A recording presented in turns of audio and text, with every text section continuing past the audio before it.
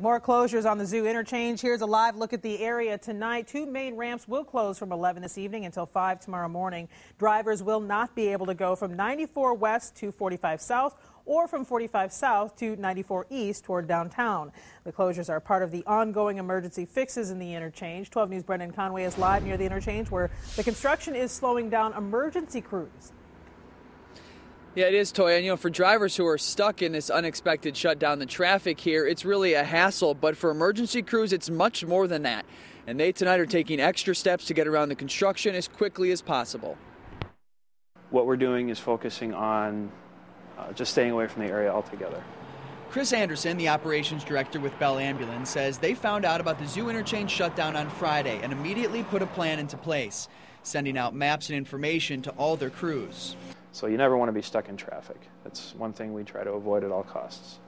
Bell and other first responders are in an especially tough situation because the northbound freeway closure cuts off the fastest route to Froedtert Children's Hospital. Instead of following the main detour, though, Bell is sending drivers to surface streets. Anderson says so far it's slowing their trips down about 5 to 10 minutes.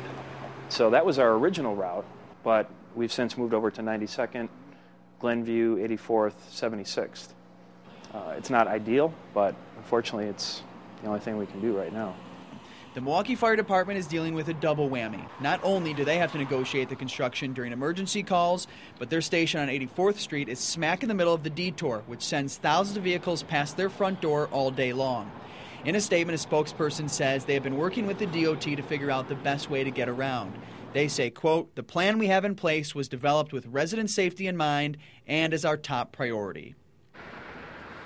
Bell Ambulance is dealing with a few other issues. They used to stage some of the ambulances uh, on the Pettit Ice Center parking lot. They said that helped them cover the west side. Now they can't do that because of the construction, because they can't get onto the freeway. Also, they are the ones that handle Miller Park. And with baseball season just around the corner, they say they're going to need to figure out how they can get people, if they need to, from Miller Park again over that Froedtert Hospital complex. Things that they will need to figure out here over the next week.